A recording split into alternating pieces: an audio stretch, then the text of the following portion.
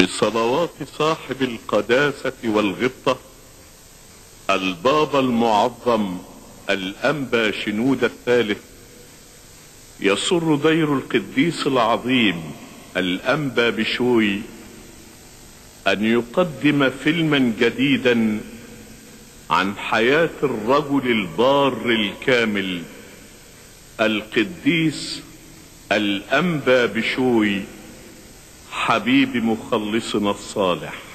المراجعة الروحية لصاحب النيافة الحبر الجليل الأنبا سربمون أسقف ورئيس دير الأنبا بشوي العامر. عن كتاب دير القديس العظيم الأنبا بشوي بين الأمس واليوم. الدراسة التاريخية نشأة زقلمة. السيناريو والحوار سعيد يوسف. إخراج ماجد توفيق بسم الآب والابن والروح القدس الإله الواحد أمين.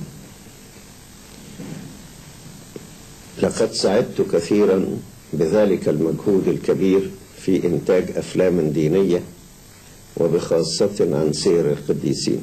قديس له شهرته الكبيرة وسط الناس وفي عيده يزدحم الآلاف لكي يتبركوا من سيرة هذا القديس ومن أخذ بعض حنوط.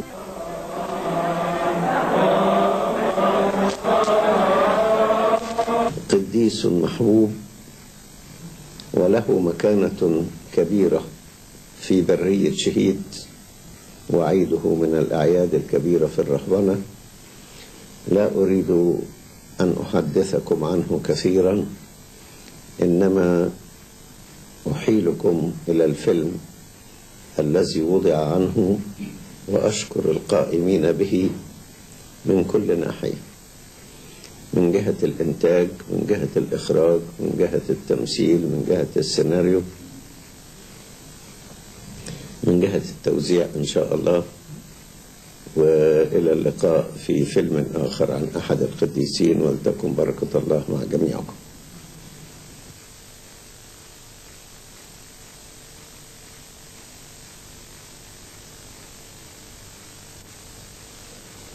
بسم الآب والابن والروح القدس الإله الواحد أمين. نشكر الله على محبته واهتمامه ورعايته بنا. إذ أرسل لنا عطية السماء قداسة البابا شنود الثالث. الذي أبدى اهتمامه بالدير روحيا ورهبانيا وعمرانيا بعد أن كان مهملا. وكان للشرف في مساعدة قداسته في تعمير الدير والإشراف عليه. ولد القديس الأنبا بشوي في عام 320 ميلادية في إحدى قرى المنوفية. وكان له ستة أخوة وكان هو أصغرهم. اختاره الرب ودعاه الملاك في رؤيا لأمه فأطاعت بفرح. دخل القديس برية الأسقيط ليترهب في عام 340 ميلادية. وعمره عشرين عاما. وتتلمذ على يد القديس الأنبا بومه وهي كلمة قبطية تعني الأسد وهو من أعلام الرهبنة. وتقدم القديس الأنبا بشوي في القامة الروحية حتى كان يسهر رابطا شعر رأسه بحبل في السقف حتى لا يغلبه النوم ويمنعه من الصلاة والتمتع بوجوده في حضرة حبيبه المسيح. وقد غسل قدمي مخلصنا الصالح وحمله على كتفيه. ولهذا فهو الوحيد بين القديسين الذي لقب بحبيب مخلصنا الصالح. وفي عام 407 ترك القديس الدير بسبب هجوم البربر وذهب إلى أنصنة. وشيد ديرا آخر هناك ما زال باقيا حتى الآن وهو دير البرشا بملوي وتنيح هناك في 15 من يوليو عام 417 ميلادية عن عمر 97 عاما. ودفن في أنصنة ونقل جسده مع جسد صديقه الأنبا بولا طموهي عام 841 ميلادية إلى ديره ببرية شهيد. ويحتفل قداسة البابا بعيده في كل عام مع الآباء الرهبان ومحبي القديس. نطلب من الله من الله أن يكون هذا الفيلم سبب بركة ومنفعة لكل من يشاهده ويسمعه ويعوض كل من له تعب في هذا العمل. بشفاعة قديسنا العظيم الأنبا بشوي صاحب هذا الدير وبصلوات أبينا الحبيب صاحب القداسة والغبطة البابا المعظم الأنبا شنود الثالث أطال الله حياته سنين عديدة وأزمنة سلامية مديدة وإلهنا كل مجد وكرامة من الآن وإلى الأبد. آمين.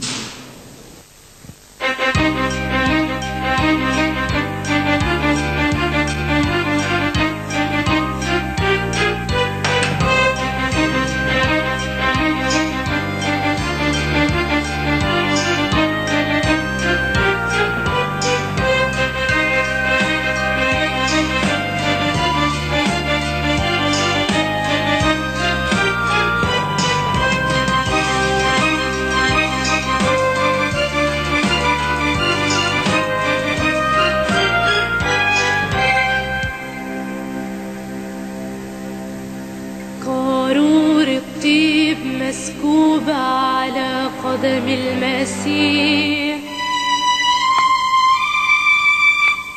وسيرة جميلة محبوبة بإيمانها الصحيح.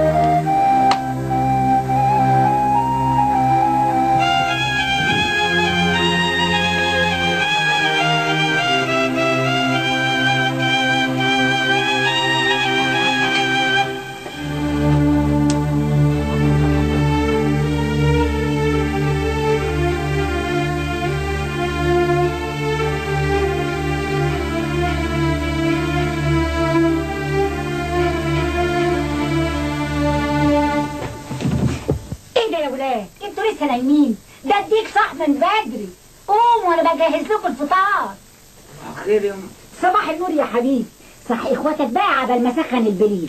حاضر يا قوموا يا شباب. يلا قوم. بارك يا رب هذا الطعام.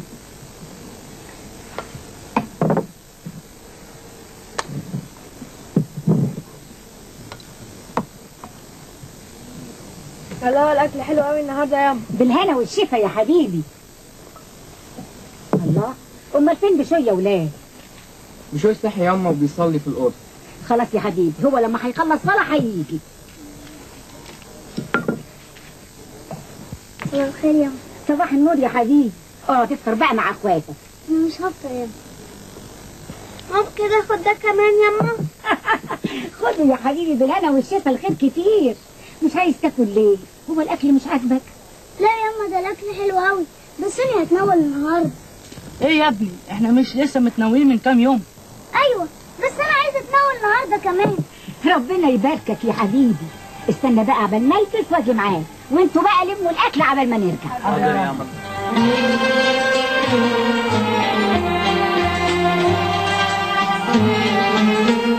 يا مينا.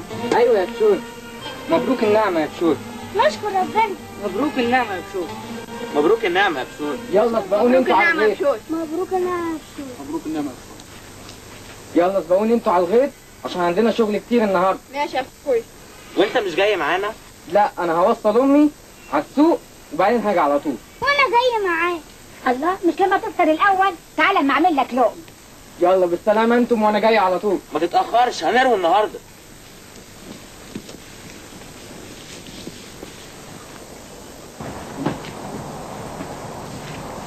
بقول لك إيه يا أم؟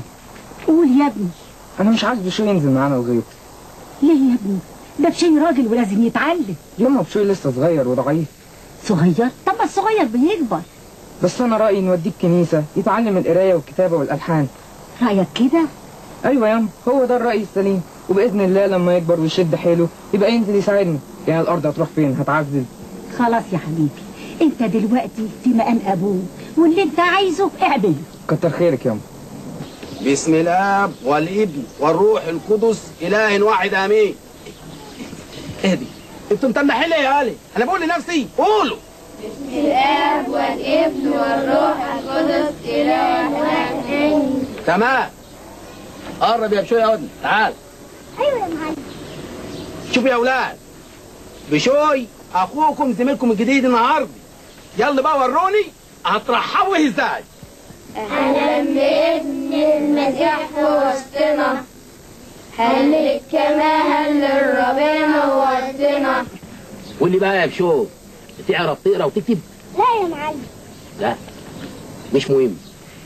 قول لي حافظ إيه بقى من الصلوات؟ حافظ أبانا الذي وحافظ مراتات الشمس في الكنيسة. إيه دي؟ كل دي؟ انت بقى عليك هتعقدني من أولي. إيه تقول حاجة يا معلم. ما بقولش ما بقول انت تقف على الواحدة من أولي. وس- وسع علي وسع له مكان وسع ده تخين انت واخد المكان كله علي النهارده بقى يا أولاد عشان خاطر أخوكم بشوي هراجع حروف الهجاء. هنراجع إيه؟ حروف الهجاء.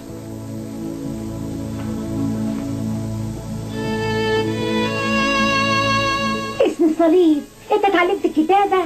أيوه ياما بس لسه شوية يعني الكتاب حلو دي حاجة جميلة خالص. المعلم بيعلمنا القراية والكتابة والألحان وكمان الكتاب المقدس. كل ده اتعلمته. أيوة ياما وبيحفظنا كمان الآيات. طب قول لي آية بقى من اللي انت حفظتهم أنا هو الطريق والحق والحياة. وإيه كمان يا حبيبي؟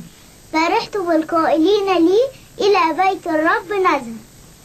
ربنا يباركك يا ابني. أنا هقول لك بقى آية حلوة قوي قوي لازم تحفظها.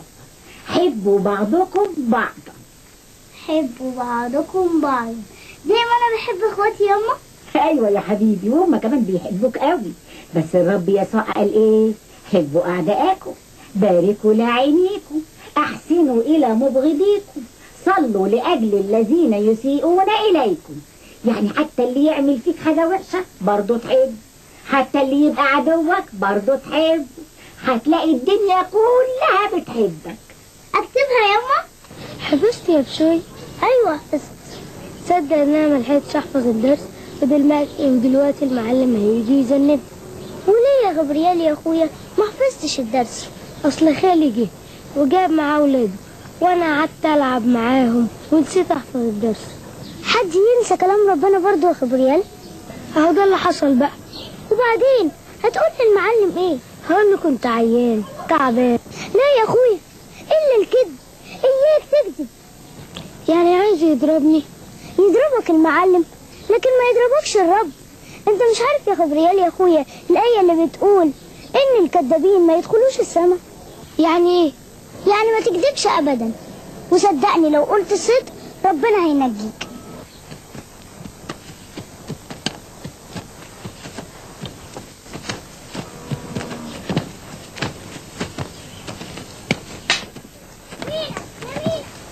إيه يا بشوي؟ إيه اللي جابك دلوقتي؟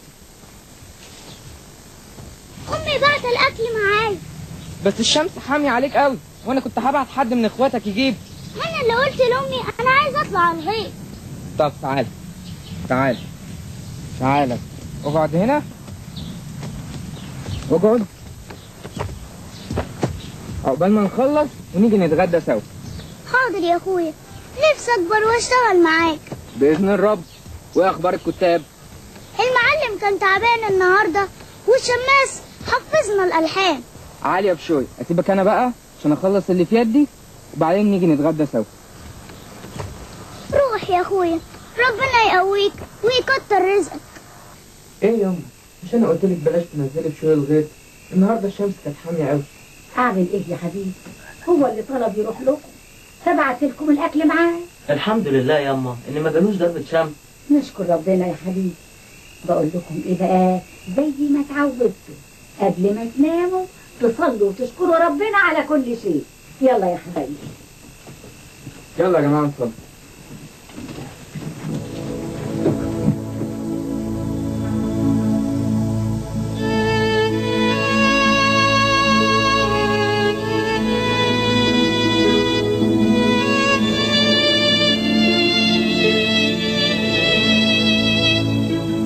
نصيبي انت يا رب. علمني وعلم ولادي. إننا نحفظ وصاياك ونعمل بيها وتكون أنت دايما البداية والنهاية. ولا تتركنا لحظة واحدة ولا طرفة عين. ساعدني يا رب. إن أوصل بيهم لبر الأمان. آمين. بسم الله والابن والروح القدس. الإله الواحد آمين.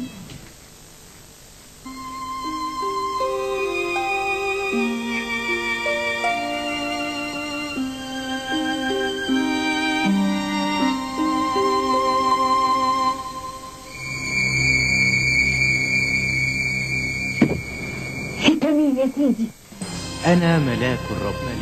يقول لك الرب أعطني أحد أولادك ليكون خادما لي جميع أيام حياتك. ولادي السبعة قدامك اختار واحد منهم. هذا فاعل جيد لسيدي اختار لك واحد أقوى منه ده ضعيف وجسمه قليل. إن قوة الرب تكمل في الضعف. واعلمي أن الله لا ينظر إلى الجسد إنما إلى القلب.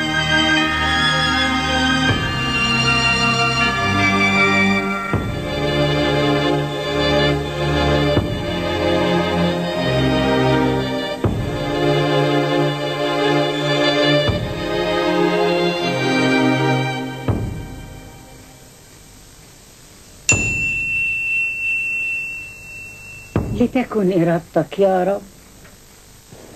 هو ده كل اللي حصل يا ابونا أخنوخ. اسمعي يا بنتي الرؤية اللي شفتيها دي رؤية سماوية ورسالة من عند الرب. ابنك بشوي هيبقى قديس كبير والرب هيكون معاه. بشوي إناء مختار عشان كده الرب هيكون معاه. اوعى تجرب في طريقه لأن الرب هو اللي هيوجهه. في البدء خلق الله السماوات والأرض وكانت الأرض خاربة وخالية. وعلى وجه الغمر ظلمة وروح الله يرف على وجه المياه وقال الله ليكن نورا فكان نورا. ومن المكتوب في هذا الكتاب يقول الشاهد بهذا نعم أنا آتي سريعا. أمين. تعال أيها الرب يسوع. نعمة ربنا يسوع المسيح مع جميعكم.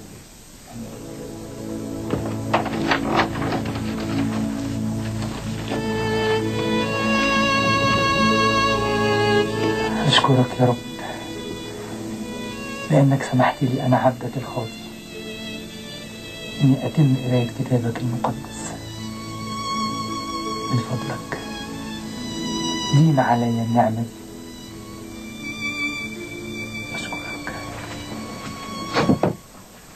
دي إزيك يا بشوي ما عدناش بنشوفك ليه يا أخوي؟ هتفضل حابس نفسك كده على طول.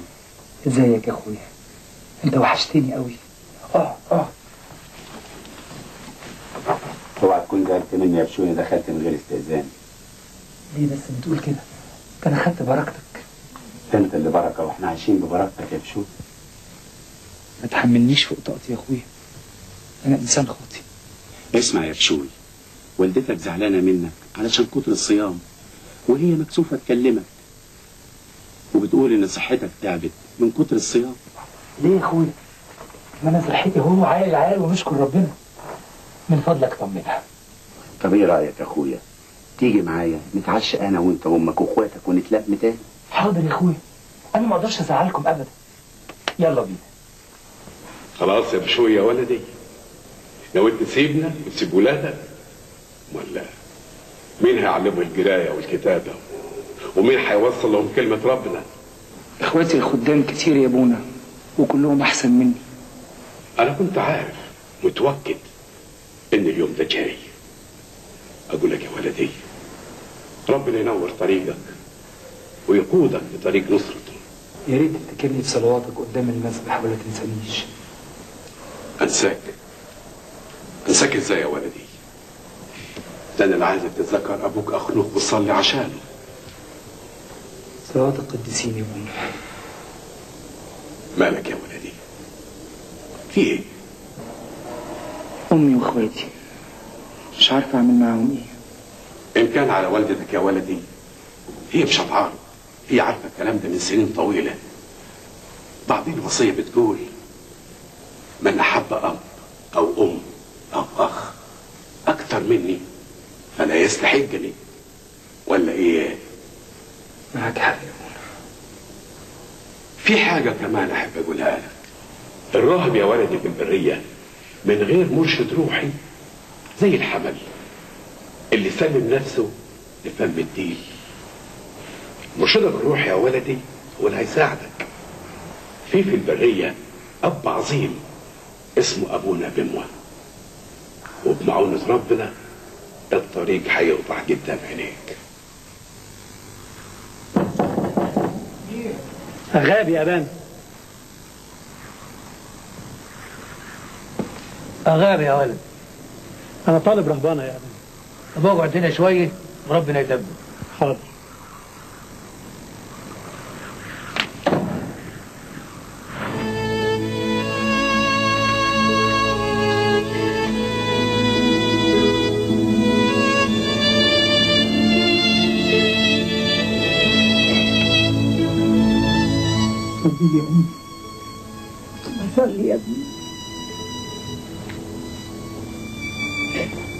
تسمحي لي اخد صورة السيد المسيح معايا عشان تنور لي طريقي اللي جاي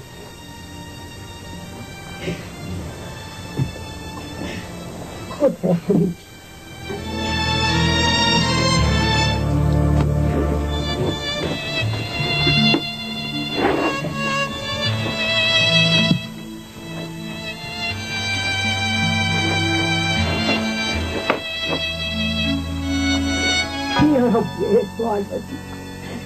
أنا عارفة إن كل شيء في السماء والأرض ملك إيديك وأنا النهاردة بقدم لك ابني شوي يكون عبد ليك. وذبيحة إكرام وحمد طول العمر.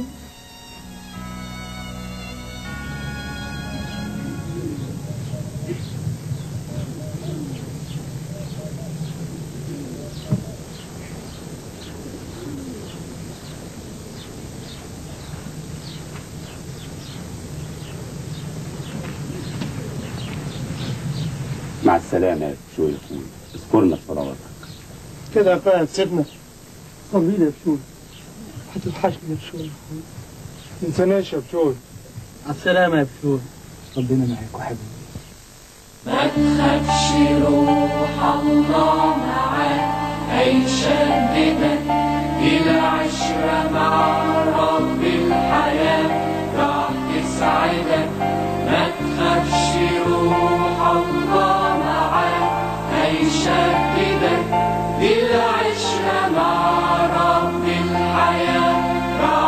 تسعدك يا خطوة همي وشهلي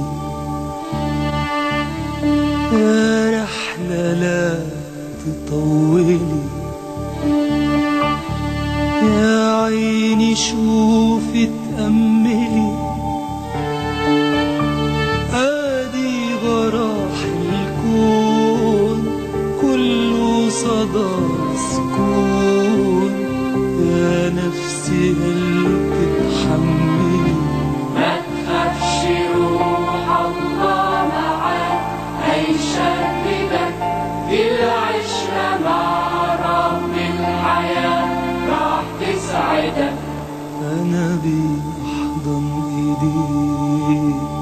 جايلك وكل شوق ملهوف قلبي عليك. أدوق حلاوة عشرتك يا خطوة همي وشهدي يا رحلة لا تطولي.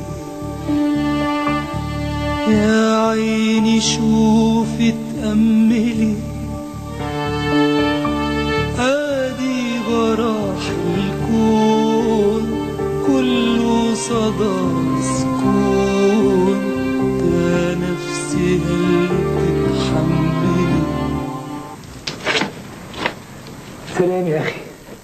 السلام والنعمة أقدر أعرف فين قلاية أبونا بيموه هي دي قلايته هو قافل الباب.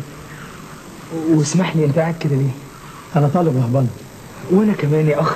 بولس أخوك بولس أخوك بشوي. وأنت كمان طالب رهبانه أيوه. بس ربنا يرشد أبونا بيموه ويقبلنا تلاميذ ليه. ربنا يحنن قلبه ويفتح الباب. تعال نصلي. سلام يا عبان. سلام يا. سلام. أنت اسمك إيه؟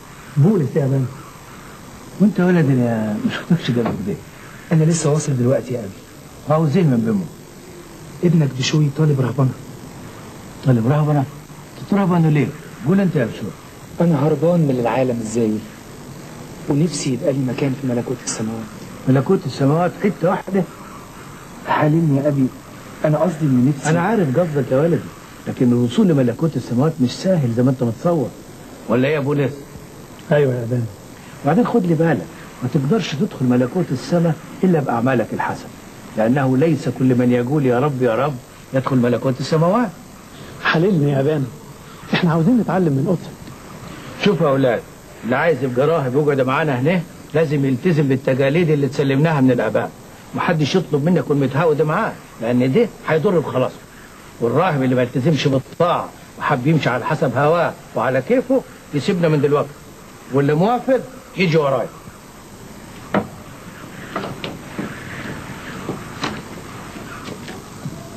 قوم يا بشوي هات ثلاث خبزات حاضر يا مان انت يا بولس هات كوز ميه حاضر يا مان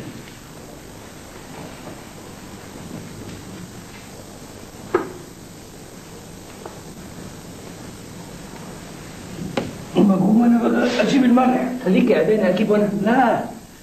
أقعد أقعد. اقعد الراهب اللي يركن للراحه يحارب الشيطان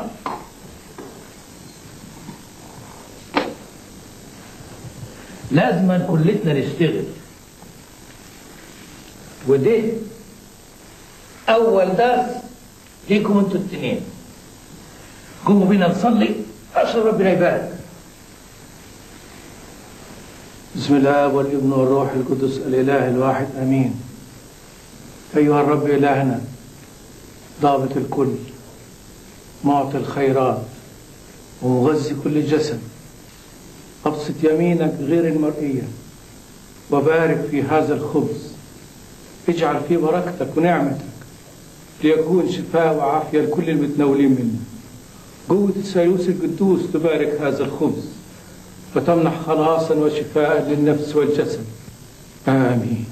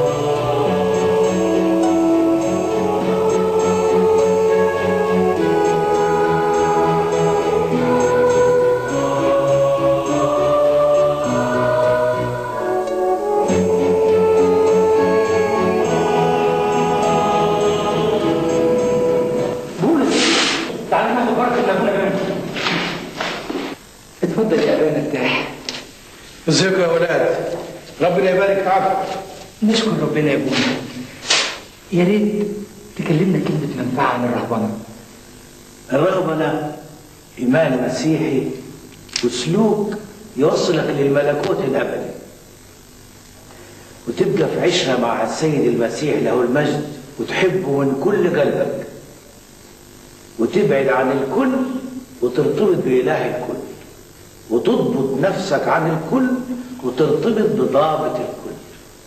عشان كده الراهب يختار السكن في هدوء في الجبال والصحاري وشقوق الأرض.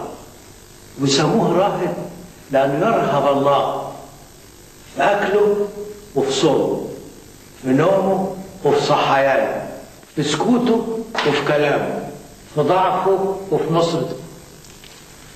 وحياة الفضيلة يا بني. القلب اللي ما فيهوش قتال ما فيهوش فضيلة.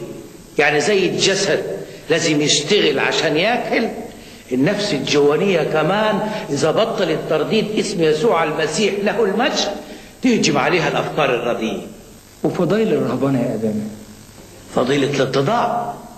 الاتضاع أعظم الفضائل. الكبرياء هو أكبر خطية عشان كده سجد طغمة من الملائكة من السماء للأرض. أما الاتضاع فيرفع الإنسان من الأرض للسماء. يبقى الاتضاع أعظم الفضائل. طب إزاي بقى يجي الاتضاع؟ إنك تعتقد دايما إنك خاطئ وإنك ما عملتش أي شيء بالصلاح أمام الله. وتلتزم الصمت ونظرك دايما يكون للأرض. ما تعودش نفسك على الكذب. وتتكلمش كلام بطال وما تناقشش الأكبر منك ابدا. ودايما عود نفسك تقول اغفر لي يجي لك الاتضاع ويحفظك من كل خطيه الكتاب المقدس بيقول في سفر الأمثال قبل الكسر الكبرياء وقبل السقوط تشابك الروح. قول لنا يا بنا كلمة نحياها الأفكار الشريرة زي الخيوط يفتلها الشيطان حبال تلف حوالين رقبتك ويهجم على النفس بتجربة اليأس وتجربة المجد الباطل وتجربة الإفراط في النسك بدون إرشاد. لكن خد لي بالك النفس الأمينة تنتصر بمعونة الله. ويعمل إيه الراهب يا أبانا؟ عشان يكسب حياة الجهاد بنقاوة. إذا داومت على طعام الحياة لاسم القدوس يسوع المسيح له المجد. بغير فطور هتلاقيه حلو في حنكك وحدك وكل ما تردد اسمه يبقى نفسك وروحك دسمة شبعانة. وبده تقدر تكسب الحياة بنجاوة ويعمل إيه الراهب يا أبانا؟ أول ما يسكن القلايه لازم يتذكر خطاياه ويبكي وينوح من أجلها ويضبط فكره عن كل شيء رضي. ويداوم على قراية الكتاب المقدس والمزامير. وإزاي يا أبي؟ يقدر الراهب يتغلب على أهوائه وهو جوه القلاية. ترفض شهوات الجسد وتبتعد عن حب الذات. ما تفكرش في مرادات الناس. خد لي بالك يا أخوي الخلاص يحتاج لتعب وجهاد كتير. ما تسيبش نفسك لجسدك لا يقتلك وسلوك الراهب ثلاث حاجات الثبات في دليته. إن كان حزين أو فرحان. الثبات مع معلمه ومرشده. إن وجد تأديب أو وجد تشجيع. الثبات في المحبة. إذا وجد حنان أو وجد قساوة. ربي يسندكم. تعرف شو يا ولد؟ أنا عايزك. حاضر يا ابانا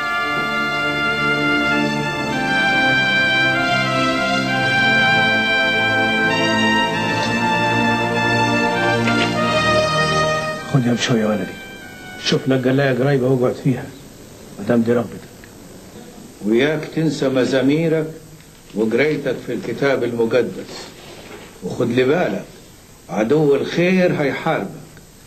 وياك تاكل إلا من تعب ايديك بسم الآب والابن والروح القدس الإله الواحد آمين. أيها الإله الصالح محب البشر. انعم على آباء الرهبان المرشدين لمعرفة محبتك الثبات في الإيمان الأرثوذكسي المستقيم إلى النفس الأخير. عين عبدك الخاطئ شوي ليعرفك أنك أنت هو الله الآب. محب البشر اللي بذل ابنه الحبيب علشان محبته لينا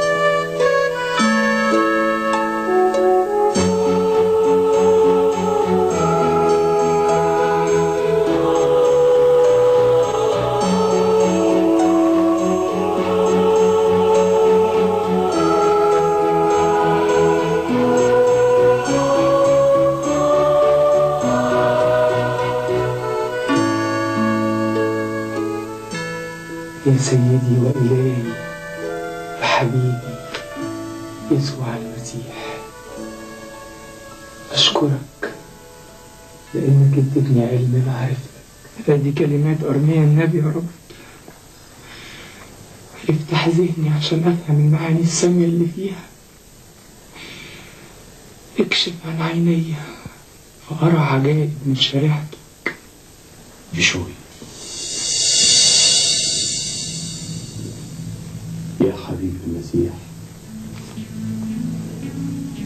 أرميا النبي أنا ما استاهلش إنك تظهر لي في السفر بتاعي اسأل يا بشوي عشان أجاوبك ليه سموك النبي الرائي علشان كنت كثير التأمل كثير الرؤى وربنا كان قصده إيه لما وراك شجرة اللوز اللوز دي كلمة عبرية. معناها سهران. وكان ربنا عايز يقول لي إنه سهران على كلمته.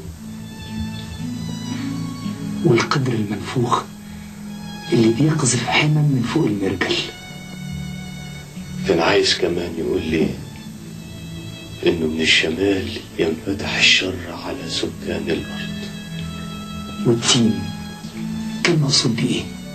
الناس اللي هيطيعوا كلام ربنا ويخضعوا لمشيئته دول هم زي التين الجيد اللي حلاوته ما تتوصفش. أما الناس اللي هيقوموا مشيئته فدول هيكونوا زي التين العفن اللي هيجف ويترمي في النار. تعبتك معايا. أطلب من ربنا عشان يعيني في جهادي ربنا معاك ويباركك. أنت تأملت وسألت فسمعت صوت الله.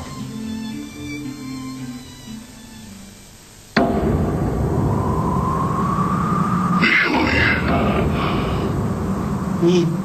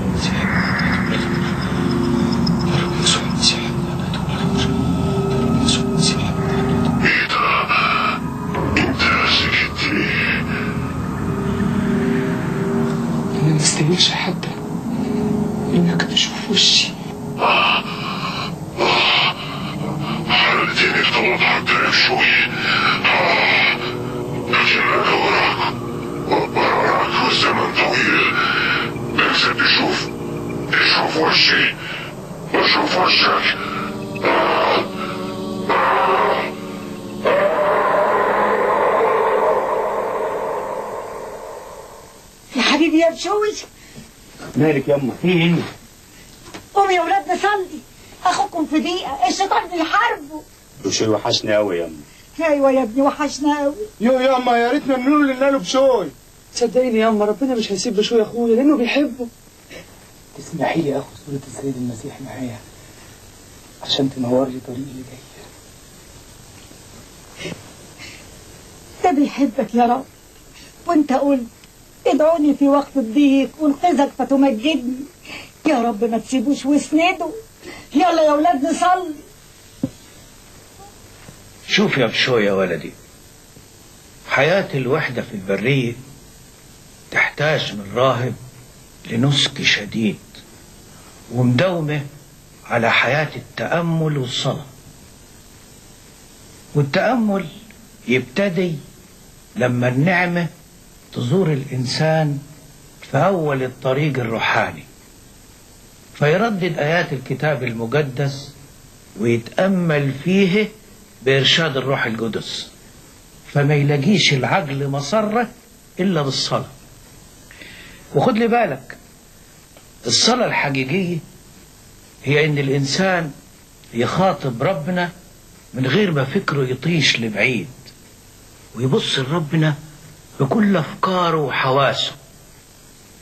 وعشان الإنسان يوصل لكده لازم يموت عن العالم وكل ما فيه ويتصور في عقله إنه قدام الله وبيكلم. وخد لي بالك الصلاة الدايمة تنبه الشعور بوجود الله قدامك وإنه شايفك وشايف كل اللي بتعمله وسامع كل اللي بتقوله. بس الحروب تقيلة يا أبي وأنا ضعيف مش قدها.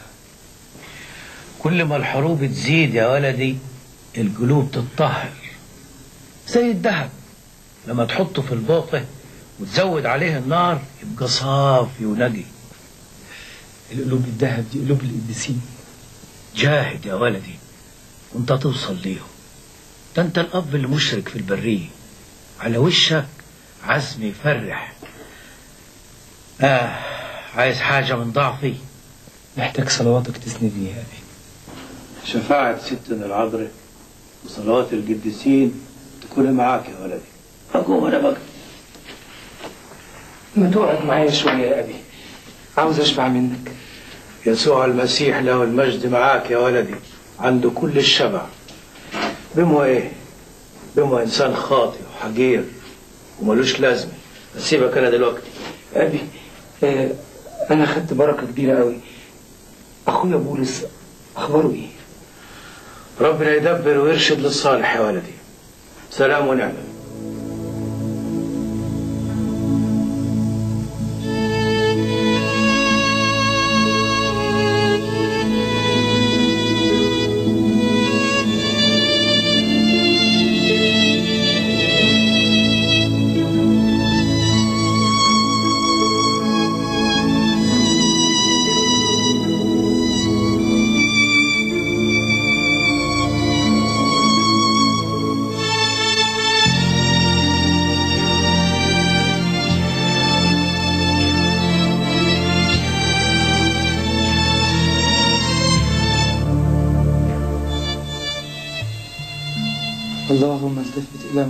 معونتي يا رب أسرع وأعني ليخزى ويخجل طالب نفسي.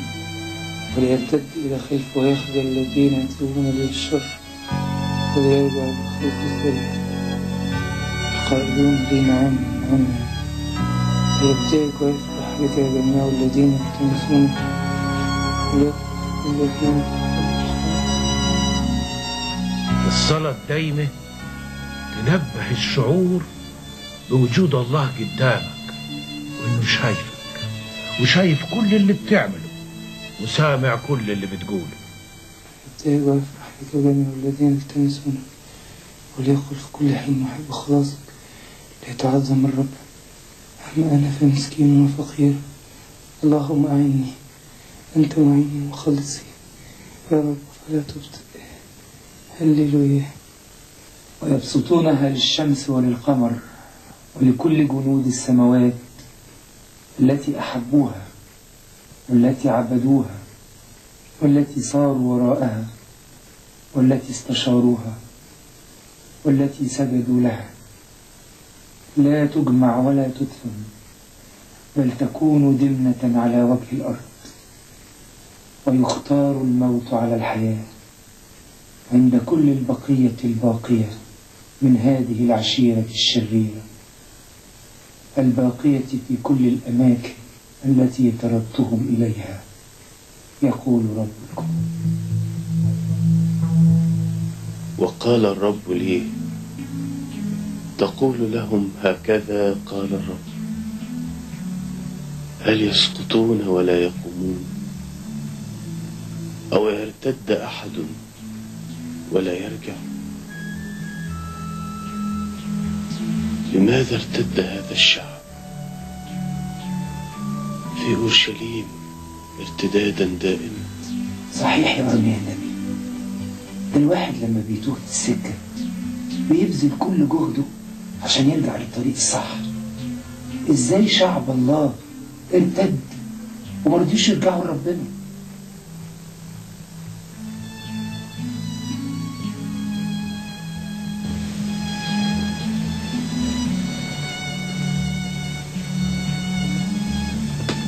اسمع يا طيب، بشوي الارتداد عقاب الهلاك. والسقوط عقاب السحق والتردي. لأن كل من يسقط على ذلك الحجر يتردد. ومن يسقط هو عليه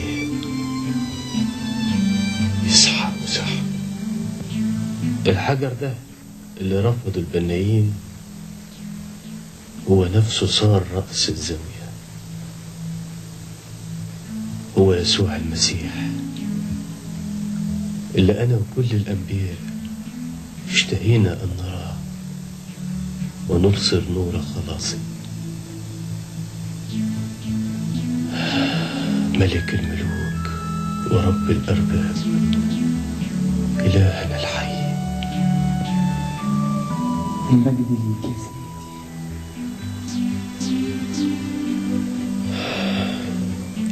أراد الله أن يعلن إن اللي يسكن في الأماكن المقدسة ده ما يعصموش من الخطية طالما فيه في القلب فساد.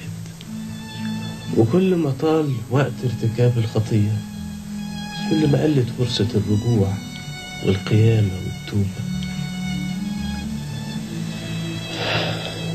كان لابد لهذا الجيل إنه يسمع صوت الرب. لكنهم صموا اذانهم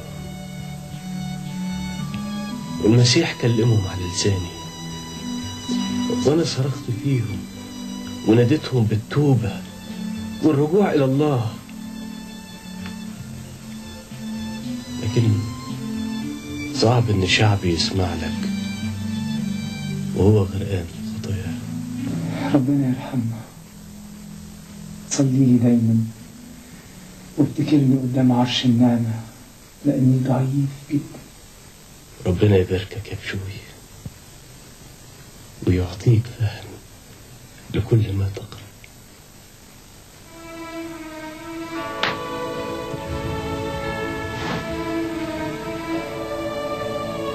يا سيدي وحبيبي يسوع المسيح بقدم لك يا رب نفسي وجسمي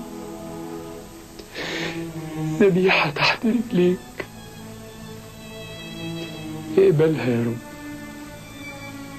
واديني سلامك عشان أحيا بيه قويني يا إلهي. قويني عشان أستحق إني أكون ابنك. يا مختار بشوي السلام لك. لقد نظرت تعبك وجهادك وها أنا أكون معك.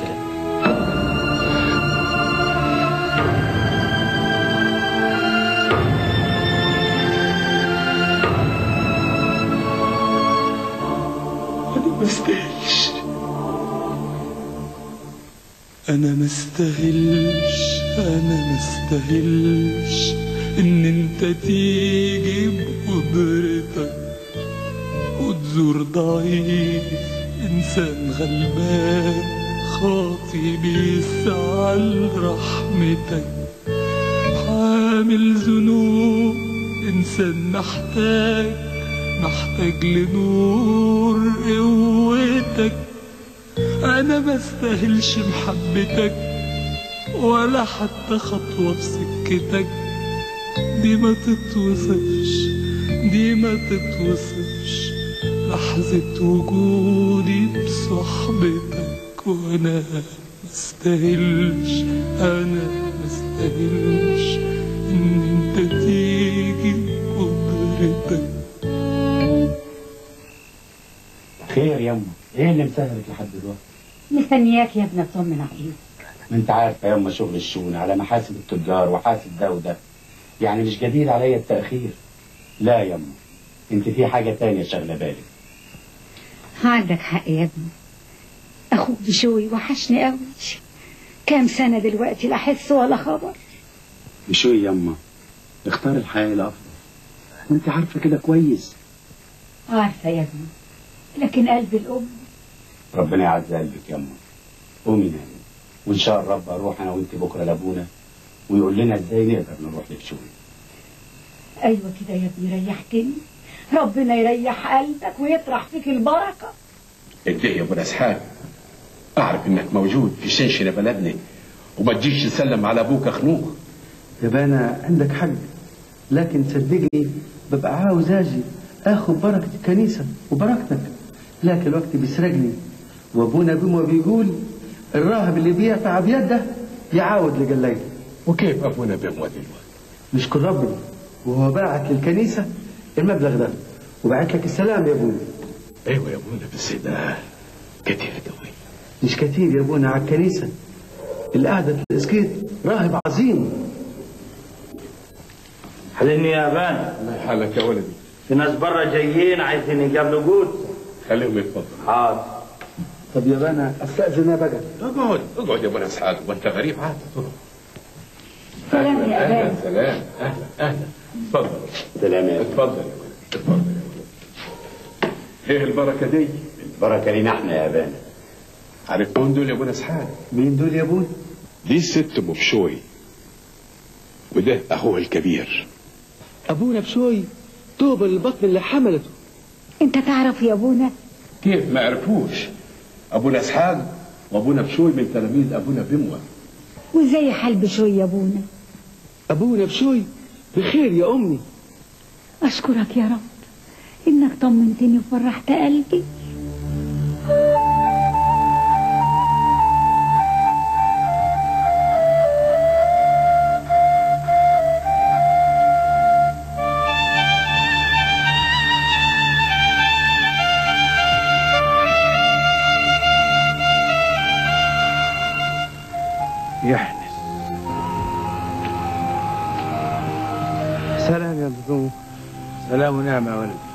شايف الغصن الجاف ده عايزك تنكته في الأرض تسقيه كل يوم لغاية ما يرعرع ويسمع وازرع وين ده يا أبي؟ هنا يا يحنس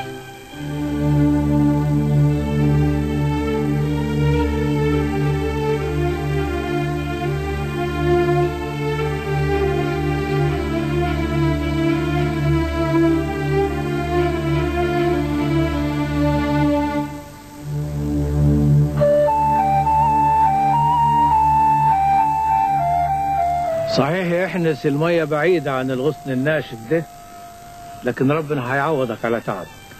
دي فرصة يا ابانا أقطع بالتعب ده.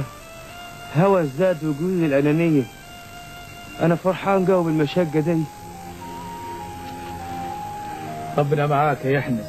يباركك ويساعدك ويسندك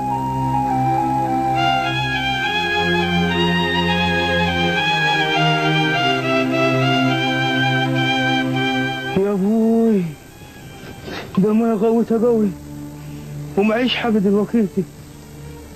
عاملة كيف دلوقتي أنا. أرجع أجيب حبل من الأول.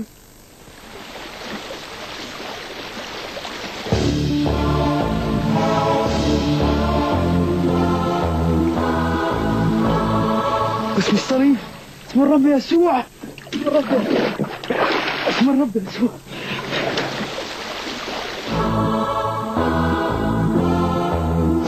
علمني يا أبي علمك بينشط روحي ويفرح قلبي. ربنا يحفظك يا منير الوجه والقلب. خد لي بالك يا بشوي. لا يمكن نبتدي البنى من فوق وبعدين الأساس لكن لازم الأساس في الأول وبعدين نبني اللي فوق. تعال يحنس يا ولدي. أبونا بشوي يحنس تلميذي أهلا يا أبونا. تعالوا اقعدوا يا أولادي. اقعد يا يحنس اقعد الكتاب المقدس في غلاطيا يقول إيه؟ بالمحبة اخدموا بعضكم بعض. يعني أساس كل عمل صالح المحبة. كل شيء يبتدي بالمحبة. وصايا السيد المسيح له المجد مبنية على هذا الأساس اللي هو إيه؟ المحبة. الله يبارككم. في حاجة تانية مهمة. أبائنا الروحانيين خلوا عمل اليدين قانون من قوانين الفضائل. يعني أنت مش بتشتغل عشان تكسب فلوس وبس لا عشان تمنع عن نفسك الشرور. وما تديكش مجال للخروج من جليتك كتير.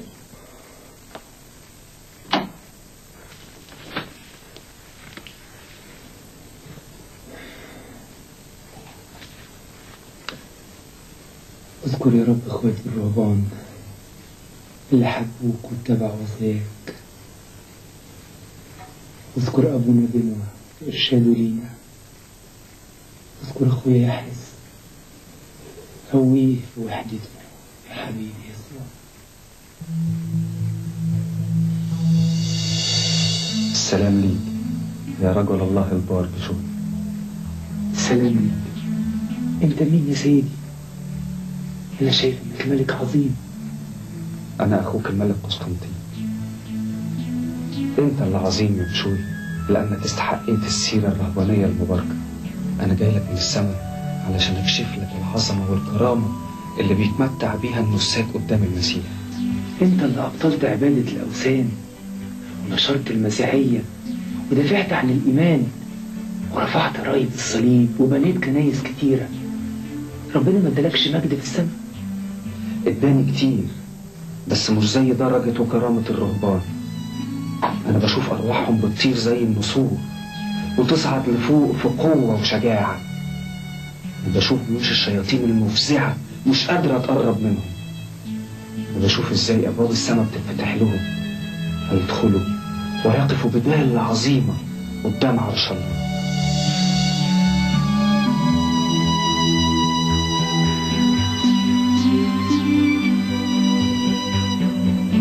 سلام ليك يا حبيبي المخلص ابونا يحمد أهلا بيك. اسم الصليب دي المغارة فاضية امال كنت هتحدد مع مين يا ابونا شو انت سمعت يا ابونا أيوه سمعت. شوف يا ابونا يحمد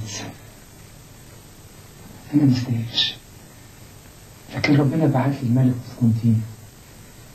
يعرفني كرامة وعظمة الرهبان في السماء.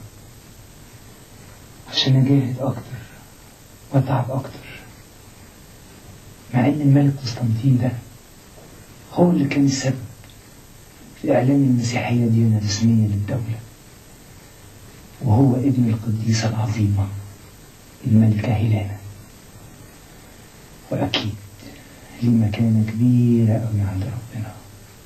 ربنا يبارككم يا أولاد ويسندكم بارك يا أبا أول ثمرة في الشجر أقعد يا ولد.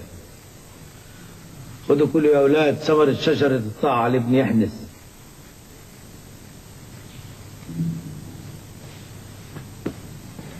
لولا إن أبونا يحمد مليان بنعمة ربنا ما كانش السر العجيب ده يحصل على إيديه إن الفرع الجاف يطلع ثمر. وشجرة الطاعة دي يا بشوي اللي فروعها ضللت على البرية كلها هتبقى علامة ورمز للنفوس اللي هتسيب العالم وتيجي المكان ده. النفوس دي هتبقى يحنس ذكرى ليك أمام رب المجد. ربنا يباركك وربنا يسندكم يا أولادي. أيها الرب الإله القوي امنح عبدك إفرام السورياني التعزيات وقوي قلبه وإيمانه حتى يرى مجد لاهوتك ثبتني يا رب أمام التجارب وامنحني الهدوء والسكينة. وارحمني يا رب أنا الخاطي إبرام. اذهب غدا إلى برية شهيد فهناك رجل ذو قامة روحية وقد سبق له معاينة الرب. اذهب لتتعزى برؤيته وتنتفع برفقة بشوي حبيب المسيح. أذهب أذهب لحبيبك بشوي. يا مخلص الصالح أبونا عفران السورياني ضيفك الحبيب جاي وأنا ما بفهمش لغته خليني أفهم لغته. وأعرف أتكلم معاه وأفرح بمقابلته وأتعزى بعلمه وأتبارك من روحه.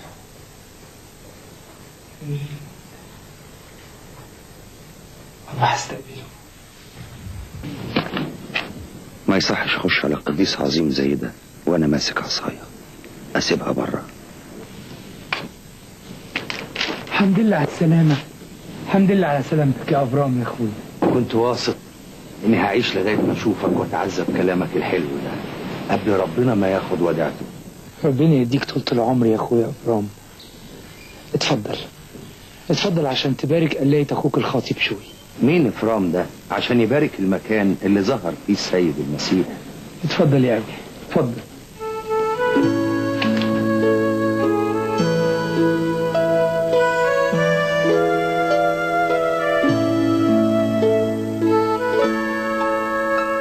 فات أسبوع يا حبيب المسيح كأنه لحظات.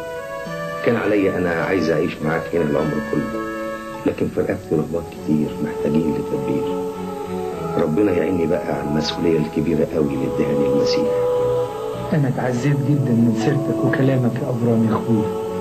وخدت بركة كبيرة لزيارتك اللي ما استاهلهاش أنا محتاجك تباركني يا أبونا بشوي. وفرحان بالحكايات اللي أنا سمعتها عن الآباء المصريين وفضايلهم وتعلمت من علمك الواسع. ربنا معاك يا ابرام يا حبيبي. أستودعك كله يا أبونا بشوي اتفضل هوصلك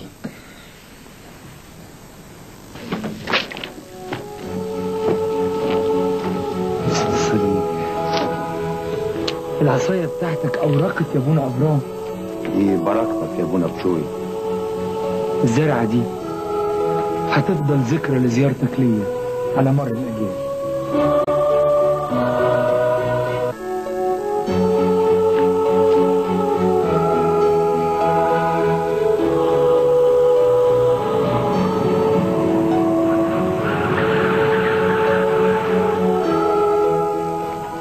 ابونا بشوي سلام يا ابني سلام يا حبيبي. ممكن اخد بركة أبونا إبراهيم السورياني. أبونا أبرام رجع بلده. مشي. مشي منين وأنا حصله؟ واخد بركته مش هينفع تحصله يا حبيبي لأن في سحابة شالته هتوصله لحد هناك. يعني ماليش نصيب آخد بركته عموما على فكرة أبونا بموى تعبان وأبونا يحنس بيقول لك هو عايز يشوف. طوباك يا شجاع الملك يسوع المسيح له المجد. ربنا يحفظك يا ولد. ربنا يحفظك. لما اسيب العالم ده عايزك تروح تسكن في المكان اللي نكدت فيه الفرعة وسقتها ونبتت جذورها في الأرض وبقت شجرة الطاعة. انت يا بشوي يا حبيبي. آتني يحرص المطيع ده حاضر يا أبانا. يحمل ده استحملني كثير. استحمل عياي ومرض 12 سنة ما تقولش كده يا سيد يحنس دي ملاك مش إنسان ده أنا انسان خاطئ يا غالي ومستحقش محبتك الكبيرة دي. ربنا يباركه بصلواتك يا أبانا. يباركك أنت كمان. يا حبيبي يا بشوي انت أنت شمس ونور في السماء. فجر جديد في البرية.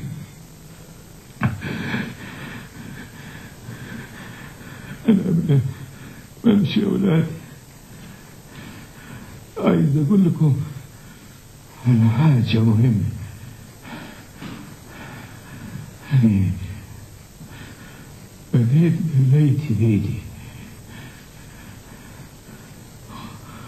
عمري ما أكلت إلا بطعمي. زي وصية الله في الكتاب المقدس. 我去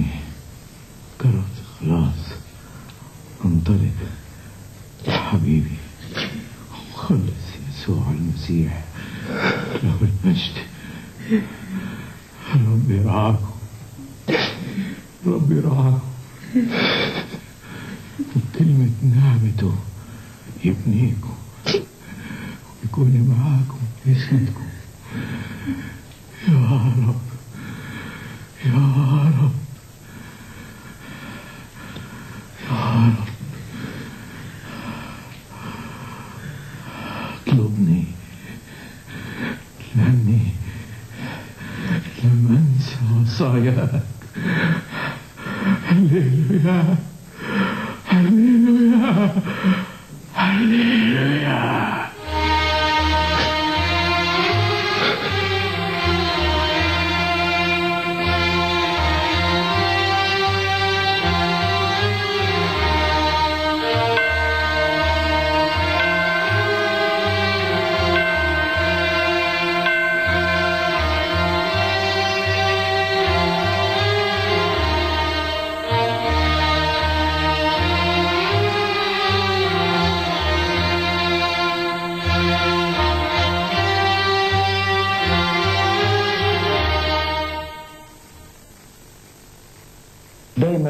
صورة حبيبك يا ابو نبشوي ازيك يا ابو يحنس أنا شايف إنك ميال للوحدة أكتر من الأول. صدقت يا أخويا الحبيب. ليه ما نرفع صلواتنا لربنا؟ علشان يكشف لنا إيه اللي نعمله. وظلا يصليان طويلا حتى ظهر لهما ملاك الرب. وأخبرهما بأن يسكن كل واحد منهما منفردا لكمال التدبير الذي أراده الله لخلاص نفسيهما.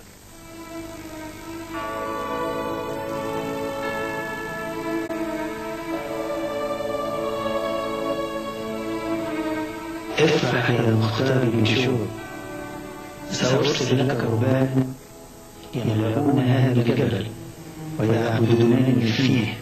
أتعالهم يا رب في البرية إن أحبوا بعضهم بعضا وحفظوا وصاياي فإني أرزقهم وأعو لهم في كل شيء.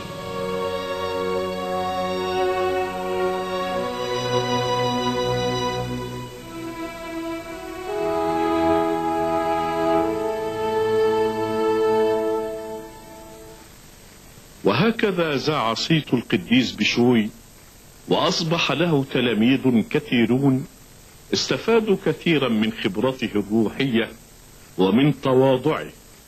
وقدم لنا هذا القديس نموذجا كاملا في كيفية النسك المسيحي حسب الإنجيل. وكيف تكون العلاقة قوية حية مع كل من عرفهم واقتربوا منه.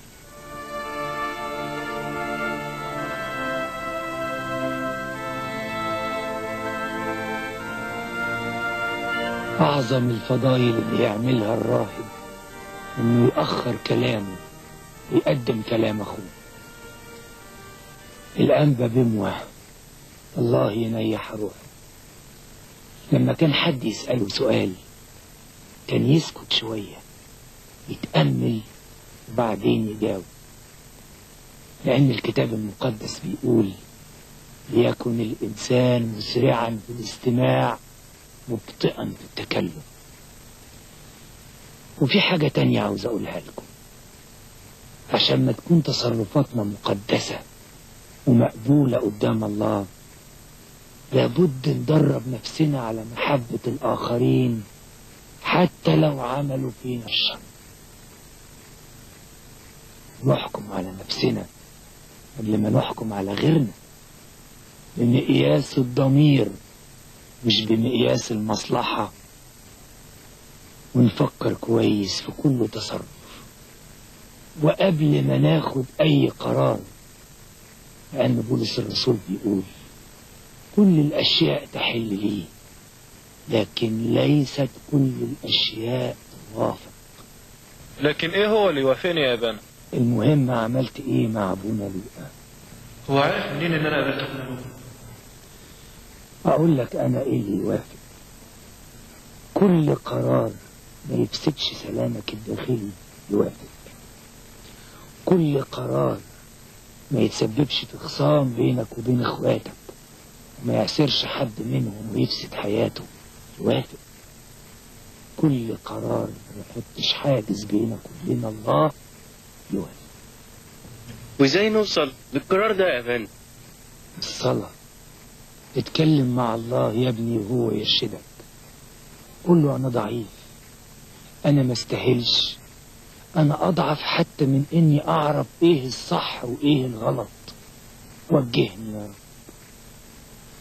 الصلاة يا ولادي هي الصلة اللي تربطنا دايما بالمسيح ليه كل المجد لكن يا أبانا أنا حاولت كتير أصلي وأتكلم مع الله لكن ما كنتش بعرف أقول له إيه.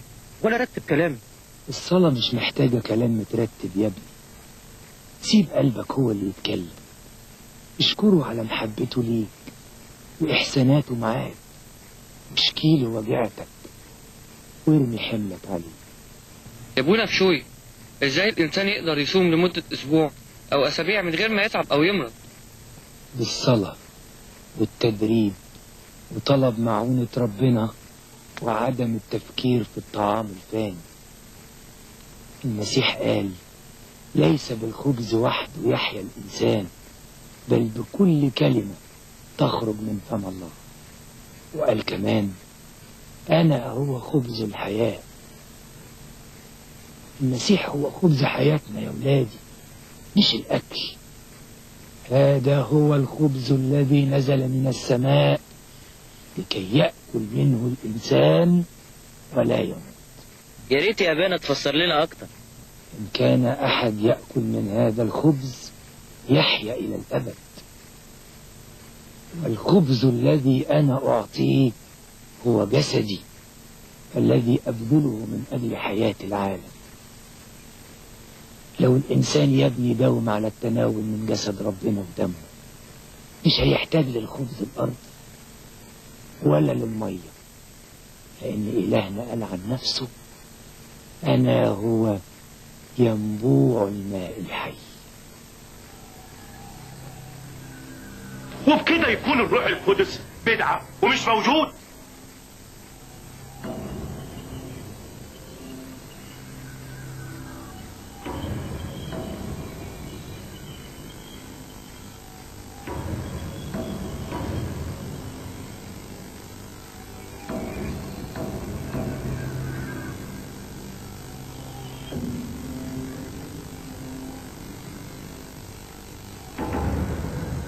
وطبعا كلنا نؤمن بالله واحد. طبعا. يعني لو كان الله ذاته غير المنظور ظهر في المسيح الإبن.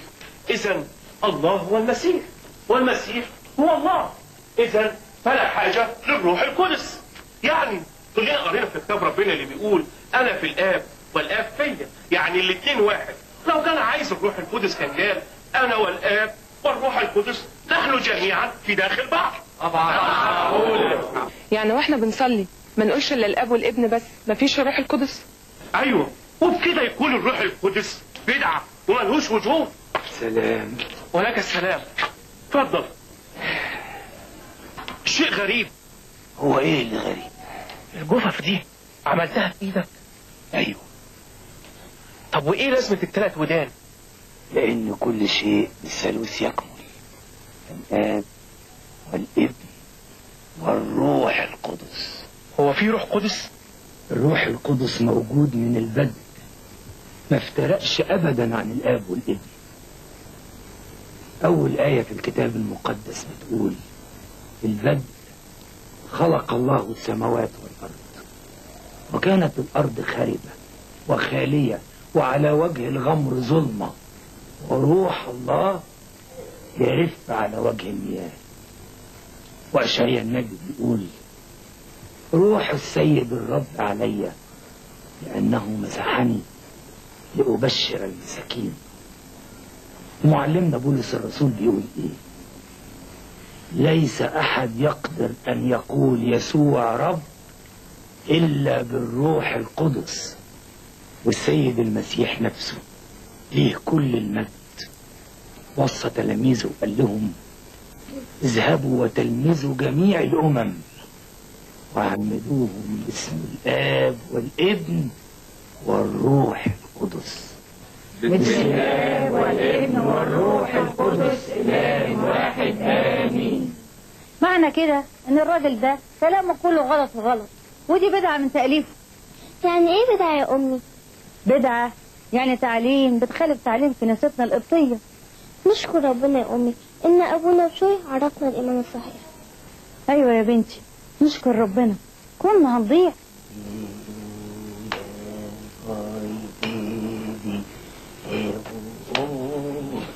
اتفضل. اتفضل استريح من تعب الطريق. اتفضل معايا.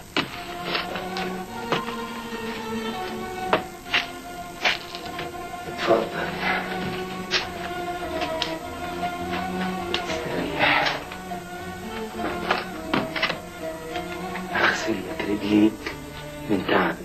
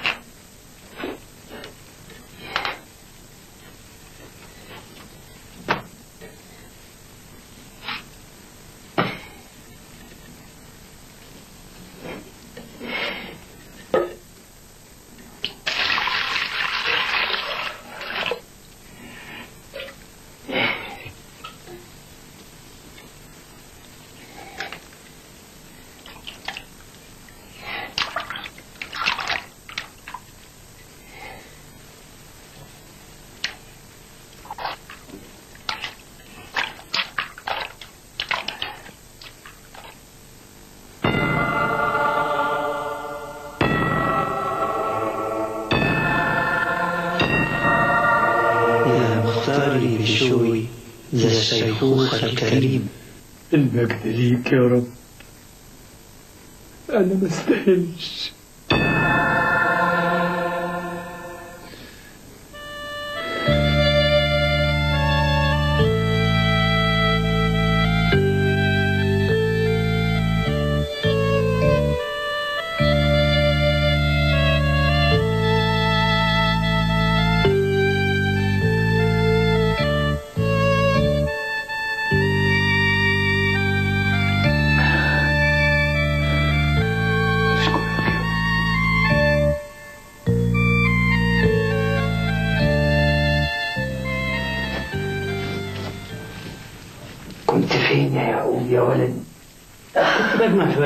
شوية زعف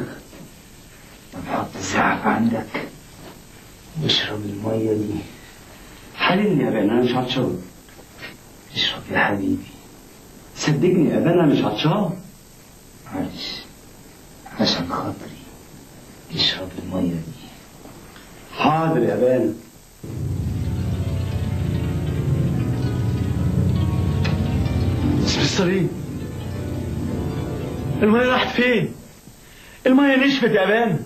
ما قلت لك يا ولدي اشرب. مية إيه دي يا بان؟ دي مية غسيل رجلين يسوع المسيح يا ويلي يا ويلي أنا خاطي. غير مستحق إن أنا أشرب من المية الطاهرة اللي لمست جسد الرب يسوع. يا ويلك يا يعقوب. يا يعقوب يا ولدي مفيش حاجة خلت أبونا آدم يسقط في الخطية ويخرج من الفردوس إلا عدم الطاعة ربنا يعزيك يا ابني ويرحمني ويرحمك. صباح الخير يا مهندس استفانوس أهلا أبونا متى يا ترى جايب لنا إيه النهارده؟ شوية أفف وسلال. عال رزقك برجليك يا حيين يا السلال وصلت. على, على كده بقى كل السلال اللي خدتها قبل كده من صنع الرهبان. الجاي ده منها بس. آه. وانتوا بقى يا رهبان النصارى. فاضيين للشغل ها ولا للصلاة والعبادة. يعني زي ما بنسمع. الراهب اللي ما يشتغلش ما ياكلش. والكتاب المقدس بيقول من لا يعمل لا يأكل. ملعون من اتكل على ذراع بشر. آه قول لي يا اخ متى؟ اسمي متى آه آه. آه، عايز أسألك سؤال. اتفضل. آه أنت طبعا عارف إن كل الأنبياء آه آه واخدين معونة من عند الله. صح؟ أكيد. مثلا يعني عندك النبي موسى فرعون والسحرة حاولوا يغيروا رأيه لكن أيدوا الرب وهزمهم كلهم. صح؟ تمام. وكمان عندك داوود سليمان إيليا أنبياء كتير كتير من بني إسرائيل. صح. تمام. إزاي بقى بتقولوا إن المسيح اتصلب وهو مؤيد بروح من الله؟ زي ما بتقولوا. إزاي نبي عظيم زي ده؟ ربنا يسيبه يتصلب. مش كده؟ ولا إيه؟ أيوه. يبقى اللي اتطلب ما هواش المسيح. يبقى واحد تاني. البضاعة عجبتك يا مهدي استفانوس؟ أيوه أدي فلوسك. متشكر. استاذن أنا بالسلامة أنكروك ولادك يا مخلص الصالح. أنكروا فدائك العظيم. وقوة صليبك. ودمك المسفوك علشانهم. يا سيدي. ارحم عبدك الخاطي مجدا واديله فرصة تانية للتوبة يا صاحب القلب الحنون. ارقب بينا يا محب البشر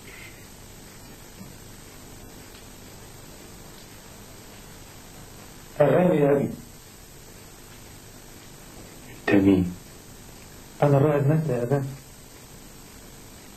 لا أنا ما اعرفكش يا أبني إزاي يا أبان؟ أنا تلميذك إيه اللي جايلك من غيري؟ أنت مين يا ولدي؟ أنا قلت لوسك أنا مجدي ابنك أنت مش ابني إزاي يا أبان؟ ليه بتقول كده؟ انت قلت إيه للراجل اليهودي اللي قبلك وقال لك ان اللي اتصلب مش المسيح. ده واحد تاني. ما رضيتش أرد عليه لأنه كلام عابر لا يا ولدي. دي سذاجة منك وعدم إيمان حللني يا أبي. أنا أخطأت من غير قصد المسيح اللي اتصلب على الصليب عشانك وعشان خطية العالم كله. المسيح اللي نفذ العدل الإلهي لما آدم أخطأ واتحكم عليه بالموت. المسيح اللي جه عشان يحررنا من عبودية إبليس. المسيح اللي عمل كل ده عشانك وعشاني أنا الخاطئ. تنكر صليبه. حللني يا أبي وصلي من أجلي. علشان ربنا يسامحني.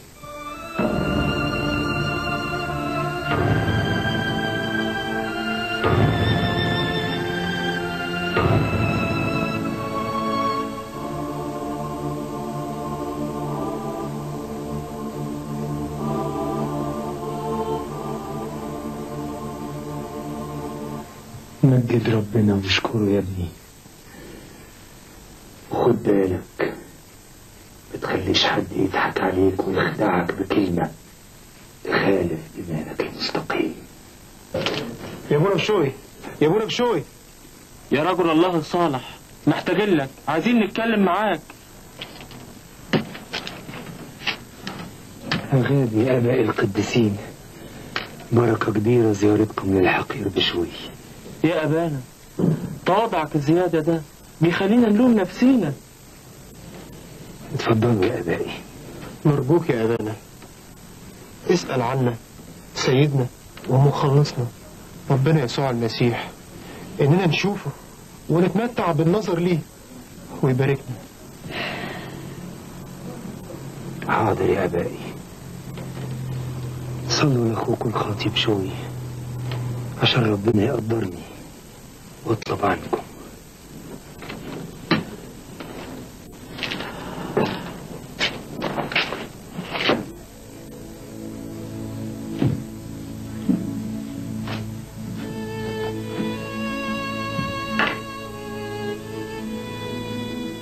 يا سيدي ومخلصي وحبيبي يسوع المسيح. أخواتي ولادك عاوزين يتحزوا برؤيتك البهية وإيد مالكم من إيديك الطاهر وجم للحقير بشوي عشان يسأل عنه ويترجاه تجاوب سؤال قلوب يا مختاري بشوي. قل لهم إني سوف أقابلهم قبل غروب الشمس. فوق الجبل. تباركت أيها الأبد. الأزلي للكلمة والمجد إلى الأبد. آمين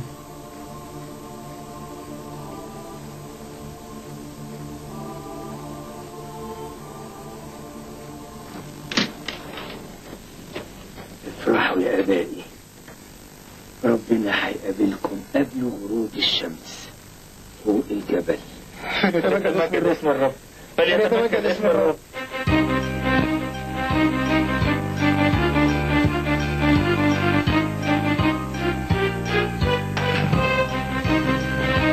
بتمدوا كده ليه؟ ورايحين فين؟ ابونا بشوي قال لنا إن المسيح هيظهر هنا خدني معاك يا ولد سامحني يا والدي يا دوب اتقل خدني معاك يا ولد أنا قادر أشيل نفسي رايح فين يا ولد؟ طالع معاه في الجبل طب تعال. تعال أساعدك. اطلع فوق كتفي.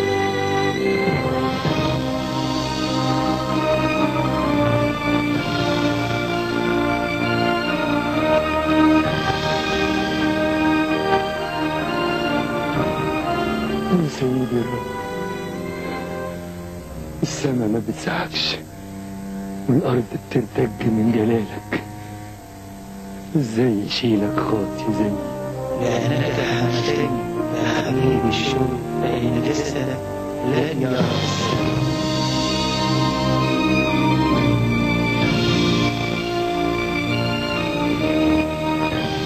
إيه يا أبونا بشوي الشمس غابت والمسيح لسه ما ظهرش. ظهر يا ولادي. بس أنتوا ما عرفتوش. فين يا أبانا؟ إزاي؟ إزاي يا أبانا؟ ما حصلش. هو إحنا نستاهل؟ الشيخ اللي قابلكم على أول الطريق وما رضيتوش تساعدوه هو ده ربنا. يا خطيتنا يا ولنا سامحنا يا رب سامحنا يا رب.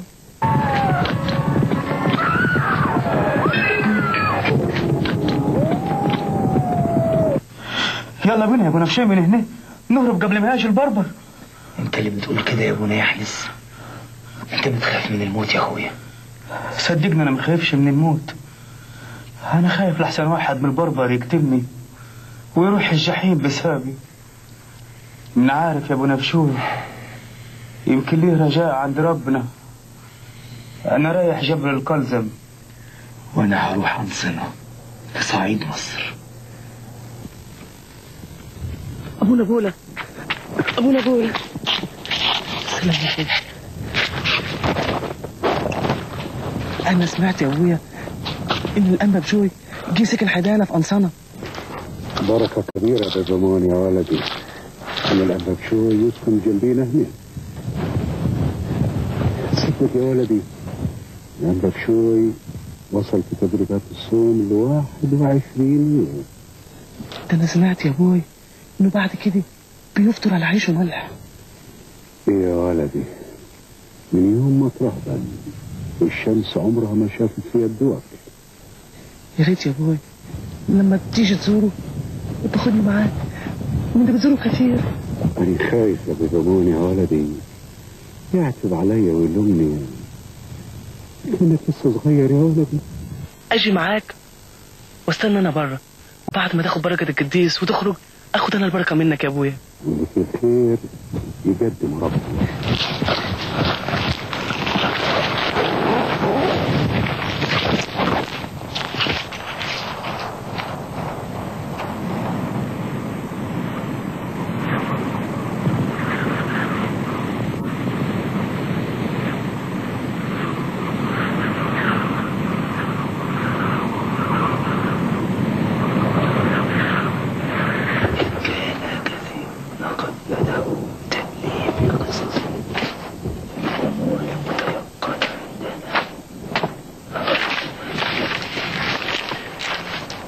أغاب يا أبي شوي الرجل المنير.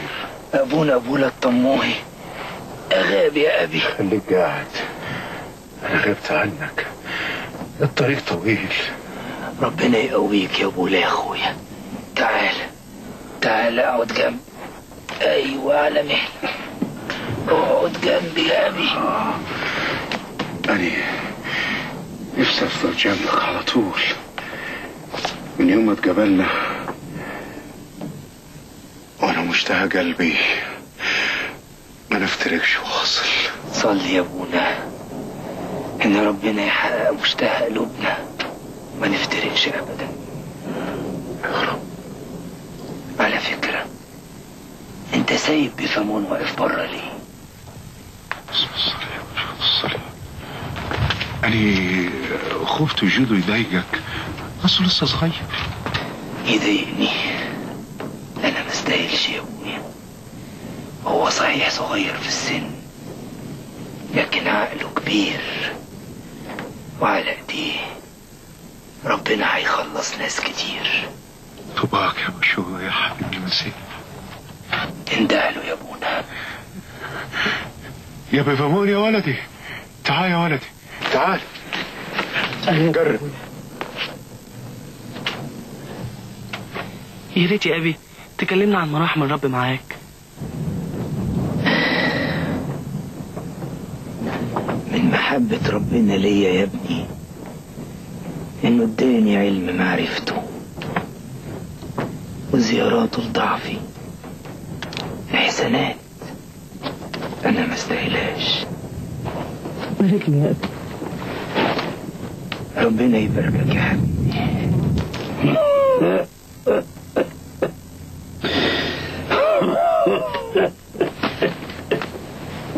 والمجد لله دائما أبديا آمين. سلامتك يا أخوي. أنت بتجاهد وبتتعب نفسك كتير. يا أبويا بشوي أنا ما استاهلش يا أبونا. يجي تعبي وصد تعبك. أنت اللي ظهر لك رب المجد. وقال لك كفاك تعبا يا حبيبي بولا وراح فين؟ تعب الحقير بولا قدام تعب ربنا عشان بني البشر. يا ابونا بولا يا بركة. خلينا نتعب شوية ما دمنا لسه في الجسد. قبل ما نطلب ونروح في التراب. صلي من أجلي يا أخويا بشو عشان ربنا يقويني. عشان أقدر أشتغل بكل طاقتي أغابي يا أباء القديسين.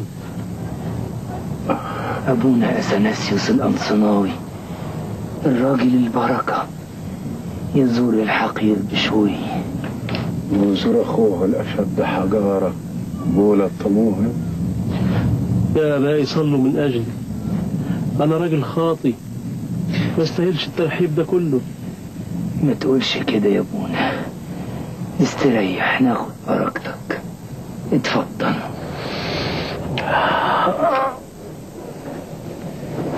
انت قديس عظيم يا ابونا وهيكون لك شأن كبير في الرهبنة. وبقوة ربنا هيديني دير على اسمك. ما تيجي معانا يا أبونا بولا. في مجموعة من ولاد الرهبان عاوزين يقعدوا معانا.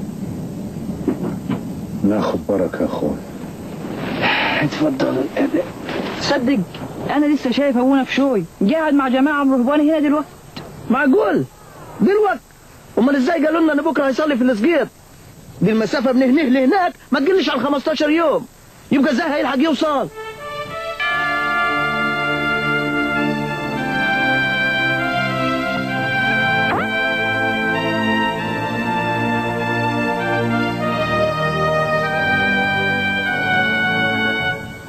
اشرب دي يا أخوي. دي هيريحك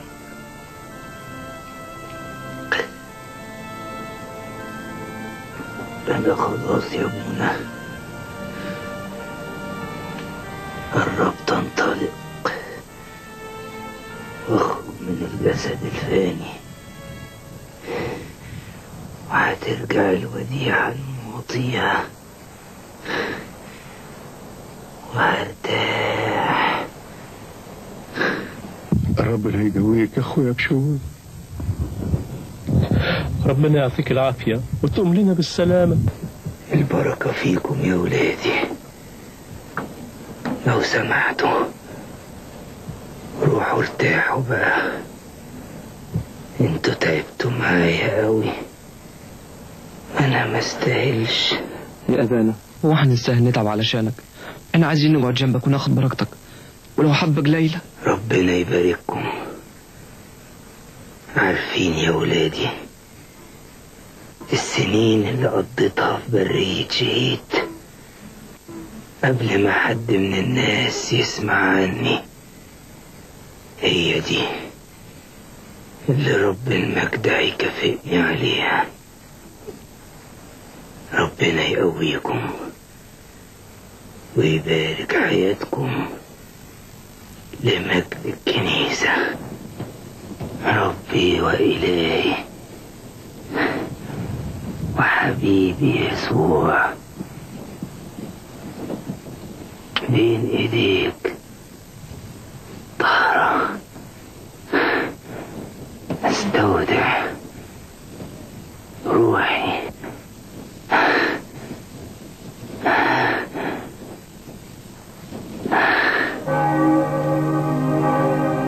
وتنيح قديسنا العظيم الأنبا بشوي في 8 أبيب عام 133 للشهداء الموافق 15 يوليو عام 417 ميلادية عن 97 عاما ودفن في حصن منية صقر قرب مدينة أنصنة وبعده بحوالي ثلاثة شهور تنيح الأنبا بولا الطموهي في سبع بابه عام 134 للشهداء الموافق 17 أكتوبر عام 417 ميلادية. وهكذا تحقق وعد الرب أن جسديهما الطاهرين لا يفترقا. وفي منتصف القرن الخامس أراد الأنبا أثناسيوس الأنصناوي أن يؤخذ جسد الأنبا بشوي إلى دير البرشا وبينما هم يسيرون بالمركب توقفت المركب في المكان الذي فيه جسد الأنبا بولا الطموهي حيث حملوه هو أيضا بإكرام إلى جوار جسد الأنبا بشوي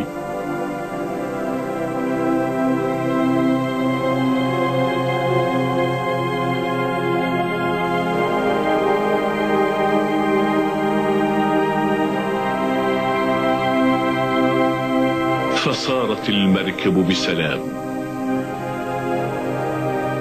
وفي منتصف القرن التاسع الميلادي وفي حبرية الأب المبارك الأنبا يساب الأول بطريرك الإسكندرية الثاني والخمسين نقل جسد الأنبا بشوي والأنبا بولا الطموهي على مركب وأخفوا الجسدين في خرجين حتى لا يراهم الحراس. وكان ذلك في اليوم الرابع من شهر كياك عام 588 للشهداء الموافق 11 ديسمبر عام 842 ميلادية. وفي احتفال كبير يليق بهذه الأجساد المباركة استقبلهما رهبان دير الأنبا بشوي بالسعف والشموع والتسابيح. ووضع جسد الأنبا بشوي القديس البار الرجل الكامل حبيب مخلصنا الصالح الذي لم يرى جسده فسادا وضع في صندوق ومعه في نفس الصندوق رفات توأم روحه القديس الأنبا بولا الطموهي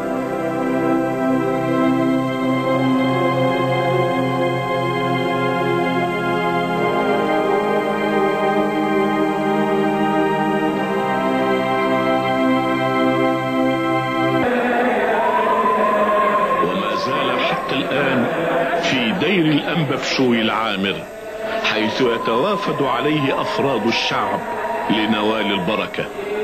بركة صلواتهما تكون مع جميعنا ولإلهنا كل مجد وإكرام. الآن وكل أوان وإلى ظهر الدهور. آمين. وقد اهتم قداسة البابا بتعمير الدير حيث تم بناء مقر بابوي بالدير لأن قداسته بطبعه يحب السكون والهدوء. ويحضر للدير أسبوعيا. ومن إنجازات قداسته الرائعة أيضا بناء كاتدرائية عظيمة واسعة تعد نموذج لفن العمارة والذوق الرفيع ومكتبة للرهبان على أعلى مستوى. وقد تم عمل الميرون المقدس بالدير بيد قداسة البابا والآباء المطارين والأساقفة أربع مرات. وإن شاء الله قريبا سيتم عمل الميرون بيد قداسته للمرة الخامسة. نطلب من الله من الله أن يكون هذا الفيلم سبب بركة ومنفعة لكل من يشاهده ويسمعه. بشفاعة قديسنا العظيم الأنبا بشوي صاحب هذا الدير وبصلوات أبينا الحبيب صاحب القداسة والغبطة البابا المعظم الأنبا شنودة الثالث أطال الله حياته سنين عديدة وأزمنة سلامية مديدة وإلهنا كل ميت وكرامة من الآن وإلى الأبد أمين.